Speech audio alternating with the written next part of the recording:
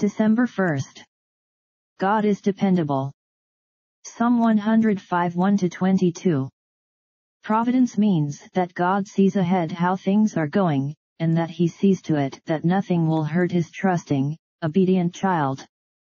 Jesus' one concern in the wilderness wasn't about starving, but to keep true. The Father would attend to the bread in good time, even if he had to send angels. If we see to it that we obey faithfully and intelligently, God will see to it that all comes out well.